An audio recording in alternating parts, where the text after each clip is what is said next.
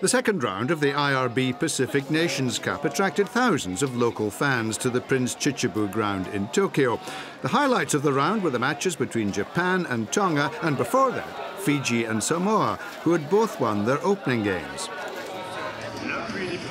Taking control was England's Wayne Barnes, one of the most experienced referees in his 41st international. And Total Rugby was given exclusive behind-the-scenes access to the officials on the day. As the teams headed back to the changing room for their final preparations, we went backstage with the ref. We've had a stroll around the pitch and realised how hot it is today. Um, so we've got the factor 50 ready.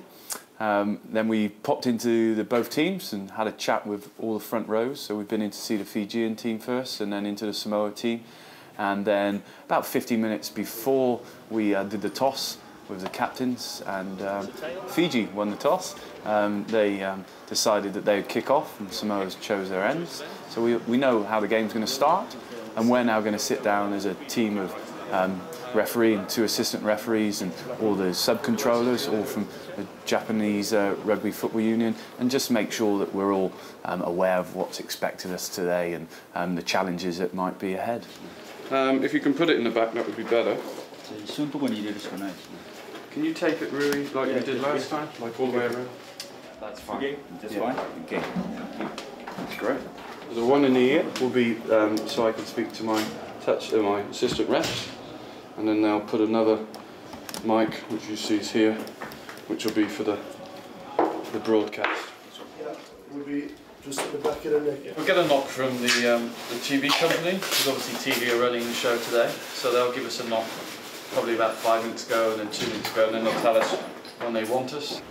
Sometimes I've had in the past where the TV have forgot to tell us that the teams have gone and we've been waiting in the change room ready for the knock and then all of a sudden you wonder why there's booing and hissing coming from the crowd.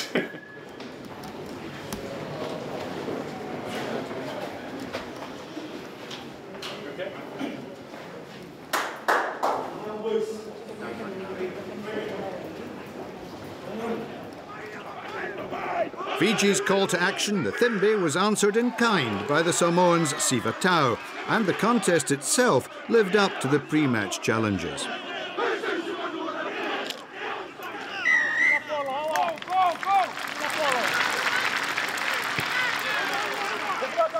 Fiji's scrum half, Nemia Kenatale, scored the opening try, finishing off a fluent counter-attack.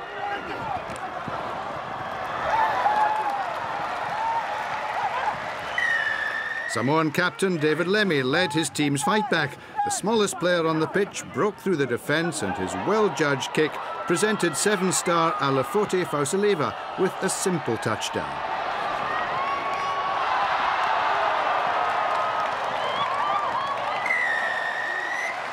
And Lemi's second, shortly after, put Samoa 18-13 ahead at the break. Back foot's pretty good for me. Only had to speak to six. Peaches bought into it. it. Yeah, good. Back foot for you, Kazu? Good? No problems. Yeah. Yep.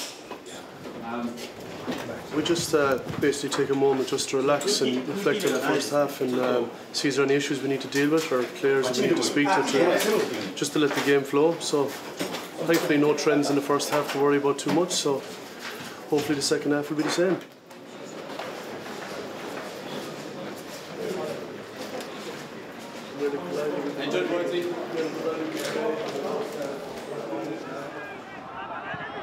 Lemi extended Samoa's lead 10 minutes into the second half, in the process breaking Hosea Gear's tournament record of eight tries.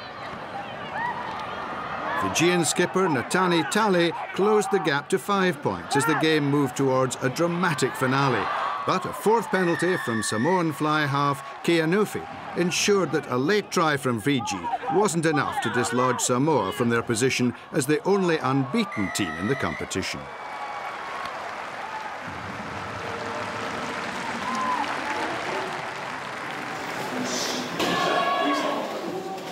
For the match officials, it was also a job well done.